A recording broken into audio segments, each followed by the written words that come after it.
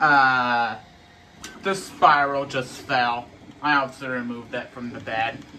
Uh, so we're just gonna have to print the spiral separately, but everything else is fine. How much time do we have left?